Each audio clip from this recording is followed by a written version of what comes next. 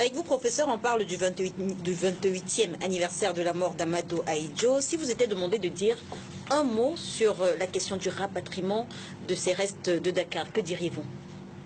Il faut le faire. Qui doit le faire? On m'avait dit un mot, il Juste, faut le faire. Justement, qui doit le Non, faire? je pense que le président Aïdjo a... Qui doit initier cette action? Je pense que... La famille ou le- ou euh, l'État du Cameroun? Oui, je pense que c'est le Cameroun. Le Cameroun doit le faire. Il faut, euh, il faut parfois... Vous savez, nous sommes dans un contexte de mondialisation. Notre société n'accorde plus euh, la place à ceux qui ne s'inscrivent pas dans une dynamique crédible et de forte mobilisation citoyenne. Le président Aïdjo, c'est le bâtisseur de l'État camerounais moderne. Autant j'ai pour habitude de dire que le président Paul Biya est le bâtisseur de l'État camerounais démocratique.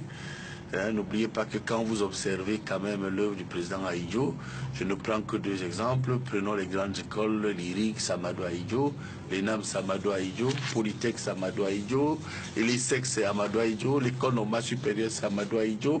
On peut continuer l'école des travaux, et bien l'école militaire. Je pense que c'est euh, incontestablement hein, le bâtisseur de l'État camerounais moderne. On peut aller plus loin sur le plan économique. Je me suis amusé à l'époque avec mon ami Charles Atebayene à faire un bilan parce que je soutiens fortement le président Paul Biya, mais vous savez que même dans la Bible, il est écrit que euh, pour le, le soutien franc est un soutien de vérité. Quand vous soutenez vraiment quelqu'un, il faut l'accompagner avec un regard franc. Et sur le plan économique, je puis vous donner quelques chiffres. Quand je regarde une société comme la SNH, c'est le legs d'Amadou Aïdjo, euh, la Sonara Samadou Aïdjo, euh, Camtel Samadou Aïdjo, euh, il y avait même euh, des sociétés comme Camer, il y avait même sociétés comme Camsico, Fogap, et bien d'autres sociétés comme euh, le Crédit Lyonnais, le Fonader qui ont disparu. Alors quand vous avez un chef d'État comme celui-là qui arrive, vous vous rendez compte que toutes les écoles de formation, c'est Amadou Aïdjo pratiquement qui les met en place, et que 35 ans après, nous qui soutenons le président Paul Biya, qui avait une mission démocratique et de renforcement de la consolidation euh, euh, du, pouvoir, du, renforcement de la constitution de l'État camerounais, vous devez quand même dire aux, aux gens qui veulent qu'on accompagne le président Paul Biya que, mais attention, il y aura un bilan. Et dans ce bilan, vous comprenez pourquoi je continue à me battre à côté du président. Il faudrait quand même qu'on se rende, qu'on dise qu'à peine en 35 ans, on a eu 3% de sociétés qui ont été créées.